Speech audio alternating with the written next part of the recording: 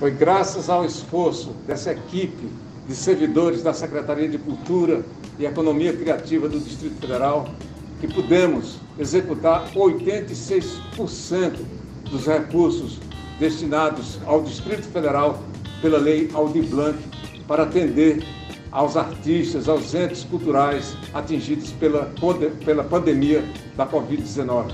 É motivo de orgulho para todos nós.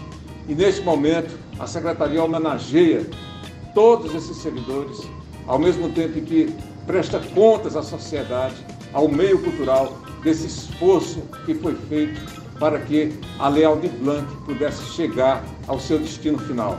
Estamos todos orgulhosos desse trabalho realizado e estamos todos esperançosos que 2021 seja uma etapa diferente na vida de todos nós, que a gente possa celebrar a cultura com mais alegria.